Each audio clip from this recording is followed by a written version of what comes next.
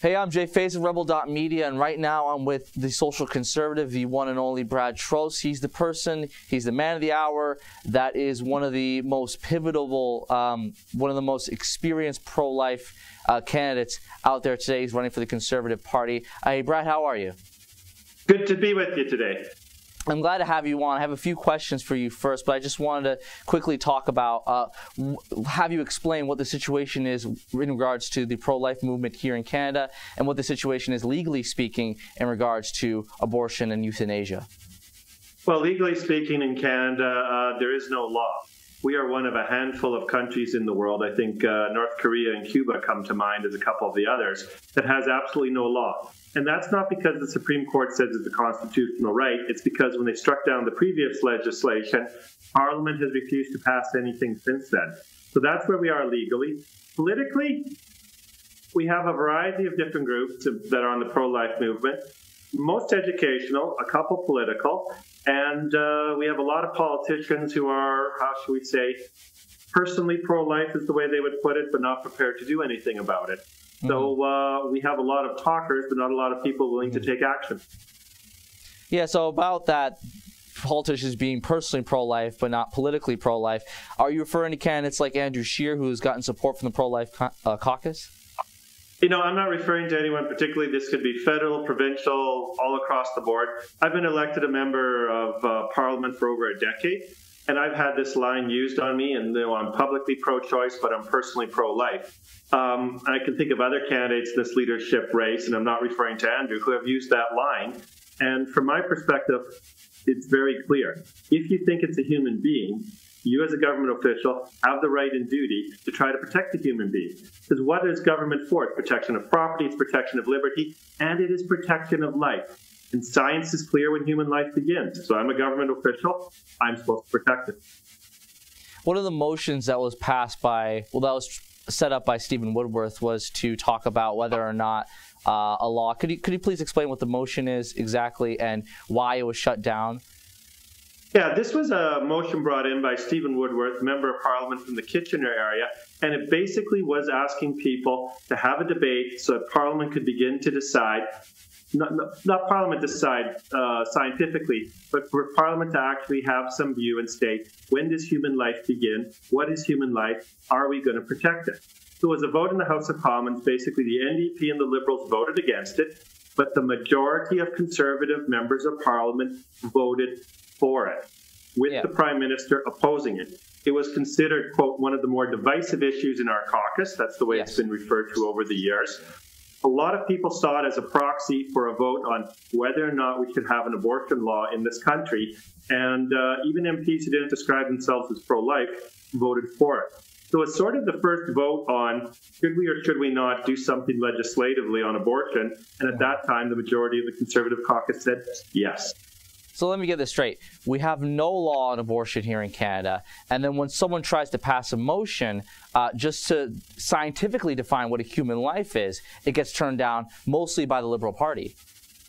Mostly by the Liberals, all, but also by the NDP, but about, I would say, 45, just under 50% of Conservative MPs also voted against it. And remember, that was in the previous parliament, not this current one. Um, it was interesting because it was one of the rare instances when the conservative cabinet was outvoted by the conservative backbench at the time.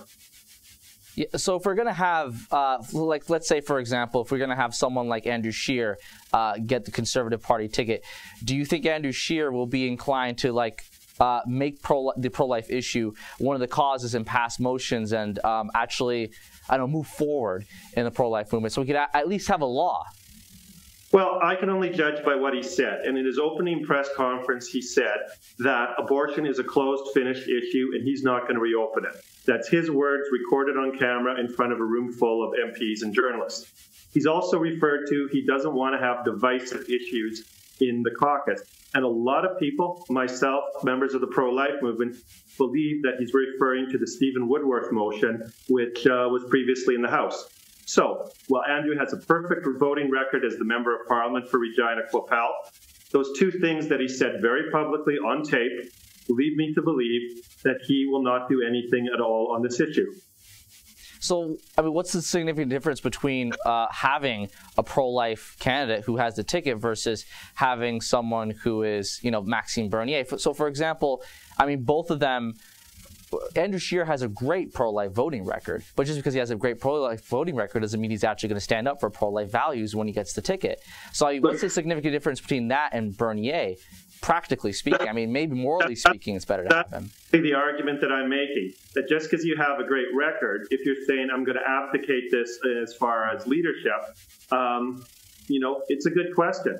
I mean, Maxime Bernier doesn't have a great record on this. I'll give the man credit for saying he's going to scrap uh, abortion overseas funding and he's going to permit a free vote. Um, but I think I'm better than both of those gentlemen on this issue because I've said, look, I do respect the free vote in caucus, but I will do things to advance the cause. I will not only um, talk about things to do, I will put fiscal resources behind things like making Canada better for adoption, doing things to discourage uh, abortion of uh, Down syndrome children. And I will fully support as government legislation uh, two measures that in the Conservative Party policy handbook. The Unborn Victims of Violence Act, always sometimes known as Molly and Cassie's Law, depending on which version, and our party's policy opposing gender selection abortion. Mm-hmm. How that would work out, I'd work with my justice minister and other ministers to do it, but that's Conservative Party policy. And that means I have the mandate of the entire membership to go forward on those issues, plus others. Do you think the Conservative Party right now is currently pushing away from the narrative that they're accepting the pro-lifers in order to get more liberal votes? Let's let's put it that way. You know, I can refer to our convention in Vancouver. There was four uh, pro-life measures, and I've got I don't even remember what they all were now. All four of them passed. So our rank and file membership may not be as pro-life as I am, but they do see that Canada needs a law. Canada needs some things to do to protect the uh, unborn. So it's not just me that's saying it; it's the delegates who voted in Vancouver on various measures. In fact, it was explicitly put in in our last party's constitution because the wording was a little vague, uh, pardon me, a little vague about gender selection abortion. The party voted to put the A word in, and it passed by a solid majority. Mm-hmm. So switching it to a little bit of another issue uh, that is also a pro-life issue, uh, euthanasia. Could you explain to our viewers what the situation is in regards to euthanasia in Canadian law? Well, right now the Liberals have passed uh, a bad piece of legislation. I mean, all of their legislation is bad.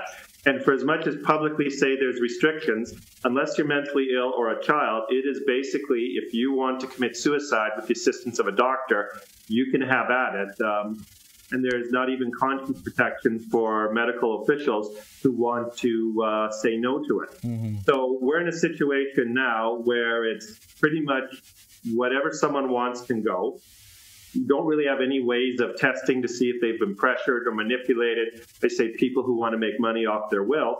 So it's pretty much open season right now. And uh, it's causing issues. In Quebec, there was a problem with doctors refusing to treat suicide uh, patients, according to press reports. Um, so even things that weren't first thought of are now being affected by this bill. So right now, is it the case that anyone uh, has, as as long as they have doctors signing off on it, can receive euthanasia. And yeah, this is the reality have... that's beginning to be found out. As much as the law says there's certain protections and so forth, there are doctors and medical professionals, people who advocate for this, um, who are very much open and aggressive to signing off anytime, anywhere. It's sort of like the, the, the wink and the nod on medical marijuana. Uh, many people who weren't really that sick were getting it for medicinal purposes. Mm-hmm. It's the same thing here. As much as the law says you have to be in a certain position, um, if you can find a doctor who's willing to work with you on this, you can pretty much skirt the law if you really want to. That's the thing, because if it's physical pain, then we have palliative care and hospice care services that could deal with that and manage it well, or we have DNR orders, or we could. Um, or we could just sort of take medication and morphine so that they, ca- they could pass away naturally, that kind of stuff. But if it's mental, then the question is a lot more complicated. Um, morally well, speaking, that's, that's what the push just... is on now because they put in, uh, and I forget the timeline, but after a certain timeline, it needs to be reviewed to decide do they lower the age to include children under this law? Do they make it for uh, people who have mental illnesses? Mm. I mean, neither children nor people with mental illness can make judgments for themselves. That's practically the definition of being a child or someone with a mental illness. Um, so, how can you do that and say this is free, independent consent? That's the problem. Many of these situations, it isn't free and independent consent. I was at a rally opposing this bill on Parliament Hill, and uh, a doctor said, My job as a doctor is to walk people through the shadow of death and get them to the other side. And she said she'd seen hundreds, maybe not hundreds, dozens of her patients who wanted to die at the depth of their, her, of their cancer treatments, walk through and say, I'm so glad you got me through that. What's wrong with our society that we aren't putting more effort into palliative care, that we aren't doing things to frustrate legislation like this to make it, if not impossible, next to impossible to be implemented?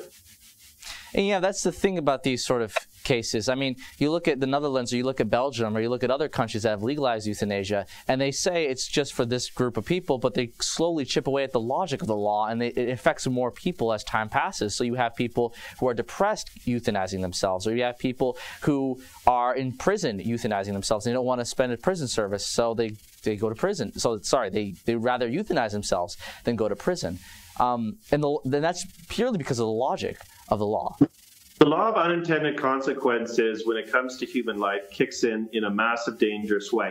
I mentioned earlier about reports in Quebec that people who attempted suicide, when they arrived at emergency uh, hospital emergency wards, doctors were refusing to treat them. If you've read anything about suicide, you know a lot of people who attempt it don't want to die. They just want attention. They want someone to uh, talk with them. But like maybe at the moment they're sad, or maybe at the moment they're depressed. But then they, once they receive help, they don't want to commit suicide anymore. They want to go through it. And here was the thing: instead of fighting to save those people's lives, doctors were saying, "Well, the law is changing. I need to step back." The Quebec Medical Association, to their credit, stepped in and said, "No, you cannot do that." And this is the thing: we need to do things as legislators um, regulations. Right now, if you talk to the Euthanasia Prevention Coalition, they say if you tighten the regulations on this, as a new government, you don't even have to pass a new law. You can shut down most of these euthanasias that are being pushed onto people. Um, give people hope. Don't give them uh, death. That's what we need to do in this country. Mm-hmm. And so going into that, there's a sort of like, let's say, people like to call it the culture of death, per se, where you have on one side the abortion issue, where you have the chip away the logic of the, law, whereas, oh, you can have an abortion for uh, sex selective purposes. You can have an abortion because the child has Down syndrome. You can have an abortion for whatever reason. It doesn't really matter. And then you have the other side with euthanasia at the end of the spectrum end of the spectrum of life where you have people, the logic of the law gets chipped to the point where anyone could kill themselves. Uh, anyone could euthanize themselves, basically. And so that's where we're at right now. Uh, and I call it the culture of death because that's literally what it is. It, you have on one side uh, children, uh, uh, sorry, the unborns. Uh, passing away, and the other side, you have people who are elderly, or people who are sick, or people who are depressed, or people who are needy, ending their lives. Yeah, and a society is often and should be judged on how it treats its weakest. And people are at their weakest when they're near the end of life and when they're at the beginning of life um, it, society should not be about just the fittest surviving and the weak being purged out. That's wrong. That's why we created government. That's why we get together as people to support each other. That's what family's about. That's what society and community is about. Hmm. And your elected officials need to fight. We need to figure out ways to push back on this culture of death. We don't just need to shrug our shoulders and say, well, the liberals passed it, now we have to accept it. I think that's wrong. Do you think that euthanasia will end up being the same situation as abortion per se, where where there are no laws on it? I think it really has that potential, and that's why I think we're in this very crucial period. I look back to the 1980s and 90s when the abortion legislation was being debated. Um, you know, maybe there'd been a little bit more leadership and understanding, we wouldn't quite be where we are today. It's hard to be judgmental, but I think now we're in a crucial phase because the law is not completely formed. The culture is not completely decided that it's uh, part and parcel of what it's doing. So we need to move to do things to provide positive alternatives so people say, hey, someone cares about me in my dying days. We need to do things, even in opposition, we can push for very tight regulations, highlight situations of where the law is being uh, egregiously abused, and actually push this issue so that we do our job to defend human life. All right. Are you optimistic of the future of the pro life movement here in Canada? Because there is actually a lot of support for at least the law, at least some sort of regulation. Are you optimistic or are you pessimistic where we're not going to, we're going to keep hitting a, a, we're in a rock and a hard place and we're going to keep hitting a wall with this issue? I would say I'm realistic. Um, I can see that there is a lot of problems, but I can also see that people are beginning to try things.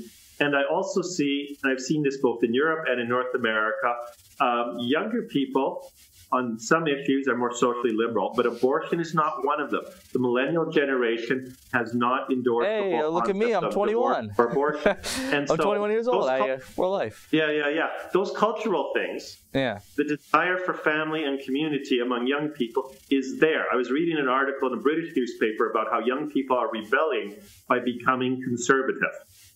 Mm-hmm. And this is one of those issues. It's not in every issue. I'll grant on things like the legalization of drugs and things like that. The culture is getting more liberal, but it's interesting. It's not uniformly, and abortion is one of those things.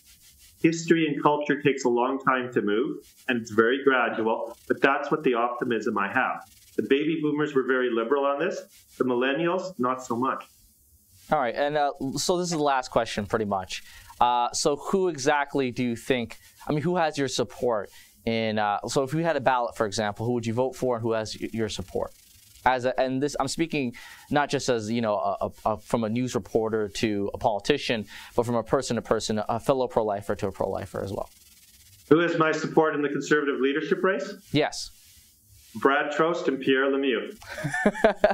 All right. Thank you very much for coming, Brad. I really appreciate it. You too. If you enjoyed the video, like and subscribe to the Rebel Media.